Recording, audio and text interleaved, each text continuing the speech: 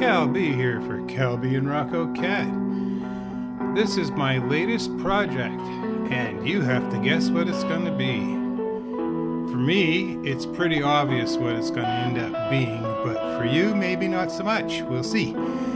However, this is just the uh, beginning here. I am sanding with 120 grit.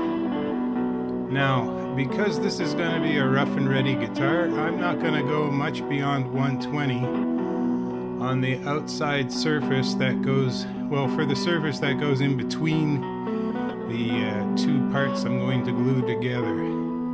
That'll give you another hint as to what's going on. Uh, as to as to everything else, it's going to be a wait and see. Uh, fingers crossed that it all works, but uh, hopefully it shall.